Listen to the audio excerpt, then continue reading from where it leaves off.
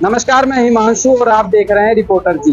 इस वक्त की सबसे बड़ी खबर से हम आपको रूबरू करवा दें कि दिल्ली एनसीआर के तमाम हाई प्रोफ़ाइल स्कूलों को बम से उड़ाने की धमकी मिली है। तकरीबन 100 स्कूलों को सुबह तकरीबन चार बजे ये धमकी भरा मेल मिला था, जिसके बाद पूरे स्कूल प्रबंधक में दहशत का माहौल हो गया और मौके पर सूचना मिलते ही दिल्ली पुलिस के तमाम अधिकारी और जिला प्रशासन मौके पर पहुँचे और सभी स्कूलों में सभी तमाम अधिकारियों ने कमान संभाली।